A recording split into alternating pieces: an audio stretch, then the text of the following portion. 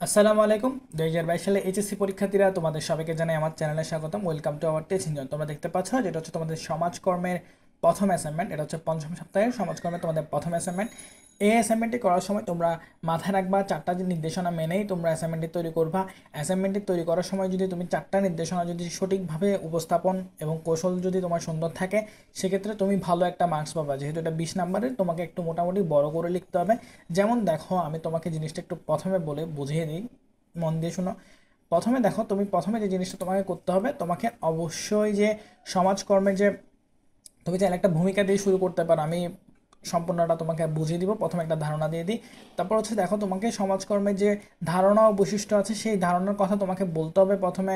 তারপর তোমাকে যে সমাজকর্মের বৈশিষ্ট্য আছে, সেখানে চারটি অবশ্যই তোমাকে বৈশিষ্ট্যের কথা বলতে হবে। দেখো, এখানে আমি চারটি বৈশিষ্ট্যের কথা উল্লেখ করেছি। তারপর তোমাকে যে জিনিসটা বলতে হবে, যে সমাজকর্মের যে পরিধিটা আছে, বৈশিষ্ট্যর পর চারটি বৈশিষ্ট্য দেওয়ার পর তোমাকে পরিধির কথাটা উল্লেখ করতে হবে। ঠিকভাবে তুমি পরিধির কথাটা উল্লেখ করবা। পরিধির পর তোমাকে যে জিনিসটা করতে হবে সেটা হচ্ছে প্রয়োজনীয়তা। যে সমাজকর্মে পাঠের যে প্রয়োজনীয়তা আছে, সেই পাঠের প্রয়োজনীয়তার কথাটা তুমি উল্লেখ করবা। এখানে অবশ্যই তুমি পাঁচটা তোমাকে প্রয়োজনীয়তার কথা বলতে হবে। আমি পাঁচটি তোমাকে এখানে দিব, সমস্যা নেই। একটা ধারণা দিব পাঁচটি সম্পর্কে। তারপর হচ্ছে তোমাকে প্রতিরোধ, যে প্রতিকার উন্নয়নমূলক কার্যক্রম আছে, সেই কার্যক্রমের কথা বলে তুমি জিনিসটা শেষ করতে পারো। আর তুমি যদি শুরুতে ভূমিকা দিয়ে থাকো, অবশ্যই শেষে উপসংহার দিবা। অনেকে ভূমিকা এবং উপসংহার পছন্দ করে। আর এখানে আমি বিভিন্ন ক্ষেত্রে তোমার কালার পেন ইউজ করেছি, তোমাদের বোঝার সাথে তুমি যদি মনে করো যে তোমাদের কলেজ থেকে নিষেধ করেছে কালার পেন ব্যবহার করার জন্য, সেক্ষেত্রে তুমি কালার পেন ব্যবহার করো না যদি নিষেধ করে, কারণ অনেক কলেজ কিন্তু কালার পেন ব্যবহার করার জন্য নিষেধ করেছে। তোমার কলেজ যদি মানা করে তাহলে নিষেধ করে, তাহলে তুমি কি করবা? কালার প্যান্ট কিন্তু ইউজ করবে না। আর আমি সাধারণত চেষ্টা করি যে কমেন্টের জন্য সবচেয়ে বেশি আসে, যে অ্যাসাইনমেন্টের জন্য সবচেয়ে বেশি কমেন্ট আসে, সেই অ্যাসাইনমেন্টটা পরবর্তীতে আপলোড করার জন্য। আমি এর আগে কিন্তু তোমাদের সমাজ বিজ্ঞান যে অ্যাসাইনমেন্টটা আছে সেটা আপলোড করেছি, সেখানে সবচেয়ে বেশি কমেন্ট আসছে সমাজকর্ম অ্যাসাইনমেন্টটা দেওয়ার জন্য। তাই আমি প্রথমেই চেষ্টা করি যে যেটার জন্য সবচেয়ে বেশি কমেন্ট আসবে সেটা আগে আপলোড করার জন্য।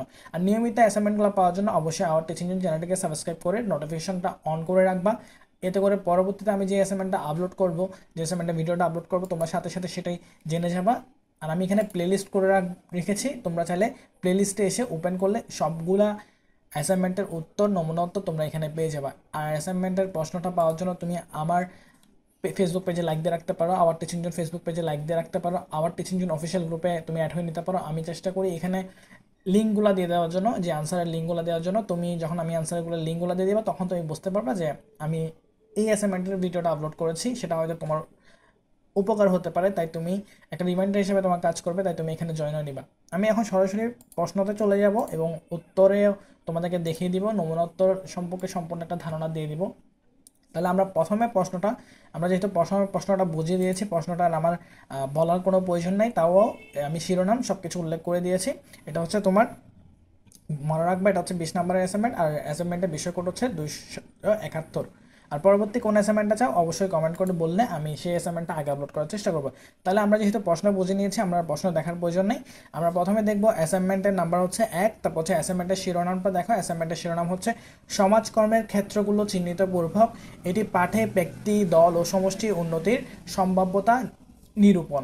যেটা হচ্ছে আমাদের, আমি তাও তোমাকে দেখাচ্ছি, যেটা এখানে কিন্তু বলে দেওয়া হয়েছে যে এখান থেকে যে এই যে অ্যাসাইনমেন্টের শিরোনাম এখান থেকে আমরা লিখেছি। তাহলে প্রথমে আমরা ভূমিকাটা দিতে পারি। ভূমিকাটা হচ্ছে বর্তমান ব্যবস্থাপনায় সমাজকর্ম একটি অতি গুরুত্বপূর্ণ বিষয়। এর ব্যবহার এবং এর প্রয়োগের মাধ্যমে খুব সহজে ব্যক্তি মা, মাত্র তার জীবনে কে অনেক সচ্ছল অনেক সুন্দর করে গড়ে তুলতে পারে। ফলে সমাজ ও দেশ হয়ে উঠবে শান্তিময়। প্রথমে আমরা সমাজকর্মের ধারণা দিব। অবশ্যই মাথায় রাখবা, প্রশ্নে যেহেতু আমাদের চারটি বৈশিষ্ট্য কথা বলেছে, আমরা বৈশিষ্ট্য কথা বলব। আর কালার প্যান্টের ব্যাপারটাও বলে দিয়েছে। তাহলে সমাজকর্ম একটি পেশাগত কর্মকাণ্ড। সমাজ হচ্ছে ব্যক্তি, দল ও সমষ্টির সমস্যা সমাধানে পদ্ধতি নির্ভর, আধুনিক, বিজ্ঞানভিত্তিক ও সেবামূলক একটি প্রক্রিয়া, যা সমস্ত মানুষের মানুষের ব্যক্তিগত, দলীয় ও সামাজিক সম্পর্ক উন্নয়ন ও সন্তোষজনক জীবনে লাভে সক্ষম করে তোলে এখানে তোমরা অবশ্যই কয়েকজন মনীষীর কথা বলতে পারো, যেমন ডাব্লিউ ফিল্ডানের কথা বলতে পারো। তিনি একজন মনীষী, সমাজকর্ম হলেও। মানবীয় সম্পর্ক, বিষয়ক, বৈজ্ঞানিক জ্ঞান ও দক্ষতা ভিত্তিক এমন এক পেশার সেবাকর্ম যা ব্যক্তিগত ও সামাজিক সন্তুষ্টি এবং জন্য সমস্যা এখানে এবং হবে না, অবশ্যই সন্তুষ্টির জন্য একক বা দলীয়ভাবে ব্যক্তিকে সহায়তা করে। আর কোথাও স্পেলিং মিসটা থাকলে আমি সাথে সাথে বলে দেওয়ার চেষ্টা করব, তার জন্য কিন্তু দুঃখিত। এখানে হবে অবশ্যই তোমার সামাজিক সন্তুষ্টি জন্য একক বা দলীয়ভাবে ব্যক্তি সহায়তা করে। তারপর সামাজিক কর্মের বৈশিষ্ট্যের কথা বলব। আমরা বৈশিষ্ট্য কথা অবশ্যই চারটি বৈশিষ্ট্য দিব। তাহলে আমরা লিখতে পারি যে সমাজকর্মের কতগুলো স্বতন্ত্র বৈশিষ্ট্য আছে, যেগুলা সমাজকর্মকে অনন্য পেশা থেকে পৃথক সত্যাধান করেছে। নিচে সমাজকর্মের বৈশিষ্ট্যগুলো উল্লেখ করা হলো। প্রথম যে বৈশিষ্ট্য সেটা হচ্ছে সামাজিক সম্পর্ক ও সামাজিক মিতস্ক্রিয়ার প্রতি গুরুত্বরূপ। সেটা হচ্ছে সমাজকর্ম ব্যক্তিগত অথবা সামাজিকভাবে যেখানে যেই রূপ প্রয়োজন মানুষকে, তাদের সামাজিক ভূমিকা পালন ক্ষমতা শক্তিশালীকরণে সহায়তা করে। মানুষের সামাজিক সম্পর্ক এবং সামাজিক মিতস্ক্রিয়ার ফল হলো বিভিন্ন সামাজিক ভূমিকা। আর সামাজিক ভূমিকা হলো সমাজকর্মের পেশাগত মূল বিবেচ্য বিষয়। সামাজিক সম্পর্ক এবং সামাজিক মিতস্ক্রিয়ার প্রতি গুরুত্বরূপ সমাজকর্মের উন্নত স্বতন্ত্র বৈশিষ্ট্য। তারপর হচ্ছে তোমার ব্যক্তিগত ব্যক্তি এবং পরিবেশ এর প্রতি গুরুত্বরূপ। সমাজকর্ম অন্যান্য সাহায্যকারী পেশা হতো অনন্য সাধারণ স্বতন্ত্র বৈশিষ্ট্যের অধিকারী, কারণ এতে ব্যক্তি এবং পরিবেশ এ দ্বিমুখী ভূমিকার প্রতি গুরুত্বরূপ করা হয়। ব্যক্তি এবং পরিবেশের মধ্যকার কার্যকর মিতস্ক্রিয়াকে শক্তিশালীকরণে সমাজকর্ম সেবা প্রদান করে। ব্যক্তিকে পরিবেশের সঙ্গে কার্যকর মিতস্ক্রিয়ার এবং পরিবেশকে মানুষের কার্যকর মিতস্ক্রিয়ার উপযোগী করে গড়ে তুলে সাহায্য করে সমাজকর্ম। তারপর হচ্ছে তোমার মূল্যভূত নির্দেশিত পেশা, যেটা হচ্ছে সমাজকর্ম হলো একটি মূল্যবোধ নির্দেশিত এবং মূল্যবোধ প্রভাবিত মানব সেবাদানকারী পেশা। তাহলে তো হচ্ছে সমাজকর্ম মূল্যবোধ নিরপেক্ষ পেশা নয়, সমাজকর্ম অনুশীলনে যেমন পেশাগত মূল্যবোধের প্রভাব থাকে, তেমনি অপেশাগত মূল্যবোধের প্রভাবও বিস্তার করে। আন্তর্জাতিক সমাজকর্ম ফেডারেশন এর মন্তব্য প্রসঙ্গে উল্লেখ করেছে এতে বলা হয়েছে, সমাজকর্ম হলো মূল্যবোধ, তথ্য এবং অনুশীলন। এই তিনটি অন্তঃসম্পর্ক একটি ব্যবস্থা। তারপর হচ্ছে একাধারে কলা, বিজ্ঞান ও পেশা। এই কথাটা আমরা চারটা বৈশিষ্ট্য আমাদের বলেছে, তাই আমরা চারটা বৈশিষ্ট্য দিব। সমাজকর্ম একটি কলা, বিজ্ঞান ও পেশা, যা বিভিন্ন বিজ্ঞান হতে অর্জিত। জ্ঞানকে কতগুলো বিশেষ পদ্ধতি প্রয়োগের মাধ্যমে সামাজিক সম্পর্ক উন্নয়নে মানুষকে সাহায্য করে? সমাজকর্মে অনন্য সাধারণ বৈশিষ্ট্য, মনসী তোমার স্কিটমোর তুলে ধরে বলেছেন সমাজকর্ম একটি কলা এটি একটি বিকাশমান বিজ্ঞান, এটি পেশা কারণ, পেশার সবগুলো বৈশিষ্ট্য সমাজকর্ম পূরণ করেছে। তারপর হচ্ছে সমাজকর্মের পরিধি, আমি প্রশ্নটা দেখাচ্ছি না, এখানে প্রশ্নতে কিন্তু সমাজকর্মের পরিধি কথা বলেছে। দেখো সমাজকর্মের পরিধি পরিধি, পরিধিতে আমরা কি বলতে পারি দেখো? সমাজকর্মের পরিধি মূলত এর ব্যবহারিক দিকের ক্ষেত্রে বা প্রয়োগ ক্ষেত্রে বা প্রয়োগের উপযোগী উপযোগিতাকে বোঝায় সমাজকর্ম মানুষ, সমাজের সকল শ্রেণির জনগণের সামাজিক সমস্যা মোকাবেলা পূর্বক তাদের অর্থ সামাজিক উন্নয়নে সম্ভাব্য এবং প্রয়োজনীয় সহায়তা প্রচেষ্টা চালায়। এই দৃষ্টিকোণ থেকে গোটা সমাজেরই সমাজকর্মের পরিধি ও সমা, বা ক্ষেত্রে আওতাভুক্ত। আমেরিকা জাতীয় সমাজকর্মী সমিতি, সমিতিটার নাম লিখবা এন এস ডাব্লিউ প্রকাশিত ইকোনমিক্স তোমার ইনসাইক্লোপিডিয়া অফ সোশ্যাল ওয়ার্ক এই সমাজকর্মে নির্মুক্ত ক্ষেত্রসমূহগুলো উল্লেখ করেছে। এখানে অবশ্যই লিখবে ইনসাইক্লোপিডিয়া অফ সোশ্যাল ওয়ার্ক এর কথা লিখবা, এখানে উল্লেখ করেছে যেটা হচ্ছে তোমার মাদকাসক্তি নিয়ন্ত্রণ, প্রতিকার ও চিকিৎসা সেবা, তারপর হচ্ছে বয়স্ক সেবা, এখানে অবশ্যই সেবা হবে।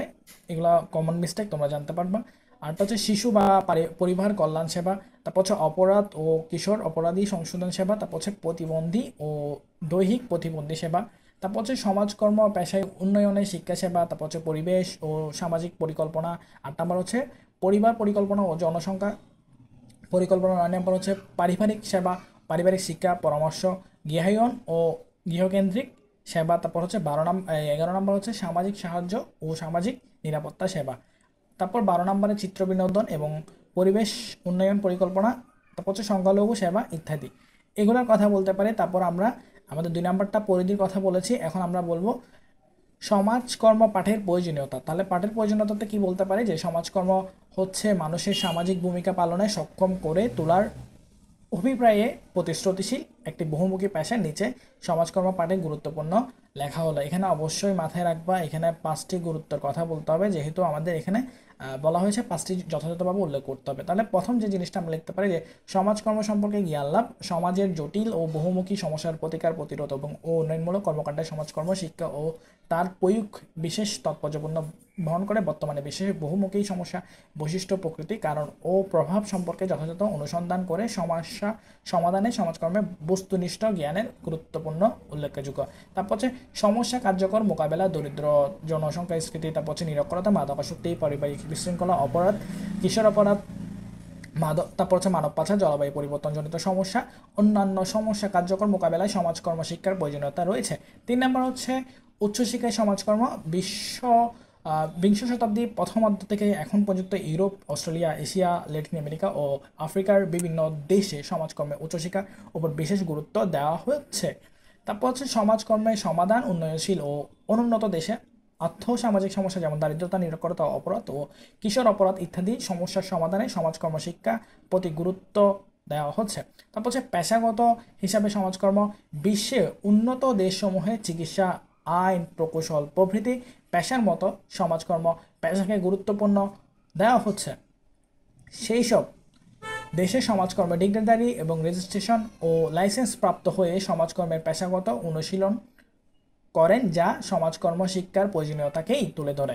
তাহলে আমাদের সমাজকর্মের প্রয়োজনীয়তা তুলে ধরেছি, আমরা পাঁচটি তুলে ধরেছি, যেহেতু আমাদের এখানে পাঁচটি জানতে চেয়েছে। এবার আমরা তুলে ধরবো প্রতিরোধ এবং প্রতিকার জন্য যে দলগত ব্যক্তিগত বৈশিষ্ট্যটা আছে সেটার কথা বলব, যে সমাজ কর্মের প্রতিরোধ প্রতিকার এবং উন্নয়নমূলক কার্যক্রম। প্রথমে হচ্ছে সমাজকর্মের ক্ষেত্রে যেহেতু ব্যাপক ও বিস্তৃত, ফলে খুব সহজেই, খুব সহজে সমাজকর্ম শিক্ষার মাধ্যমে নিজেকে দক্ষ করে, গড়ে তুলে বিভিন্ন সমস্যার প্রতিরোধ প্রতিকার এবং উন্নয়ন ঘটাতে পারে। সমাজকর্ম শিক্ষায় নিজেকে আত্মনিয়োগ করতে পারলে কেউ নিজেকে আর অসহায় ভাববে না, কোনো মানুষ না খেয়ে মৃত্যুবরণ করবে না, কারণ সমাজকর্ম মানুষকে আত্মনির্ভরশীল হতে শিক্ষা দেয়, ফলে সে বিভিন্ন সমস্যা প্রতিরোধ ও প্রতিকার করতে পারে। আর এইরকম দক্ষ মানুষ যখন নিজেদের একদলভুক্ত হয়ে একদলভুক্ত করে, তখন আর কোনো সমস্যা তৈরি সুযোগ থাকে না। তারা দলীয়ভাবে আরও শক্তিশালী হয়ে বিভিন্ন সমস্যার মুখোমুখি হয়ে সফলতা অর্জন করে বইয়ে আনে সমাজ ও দেশের জন্য শান্তিময়, শান্তির বাতাস। ফলে চারিদিকে হয়ে ওঠে আনন্দময় এবং জীবন খুঁজে পায় তার বাছার মন্ত্র। তাই পরিশেষে বলা যায়, বলতে পারি, ব্যক্তি, দল, সমষ্টি, উন্নয়নে সমাজকর্মের ভূমিকা অপরিহার্য। তারপর আমরা ফাইনাল একটা উপসংহার দিব যেহেতু আমরা ভূমিকা দিয়েছি, ব্যক্তি, সমাজ ও দেশের সর্বক্ষেত্রে উন্নতি ও সমস্যা হতে মুক্তি লক্ষ্যে আমাদের অবশ্য সমাজকর্মের উপর বিশেষ নজর রাখতে হবে।